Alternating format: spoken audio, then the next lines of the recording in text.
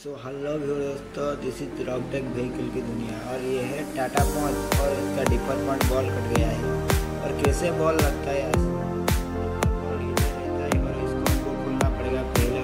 Ball को खुल के निकलते और ये देखिए, ये देखो फ्यूज हो गया है बॉल और इसको नया डाल के हम आपको दिखाने वाले हैं। ठीक है तो स्पेयर में हम नया आए ये देखो मेरा पैकेट और इनसे एक बारह वोल्ट का बॉल है। तो और बॉल को निकाल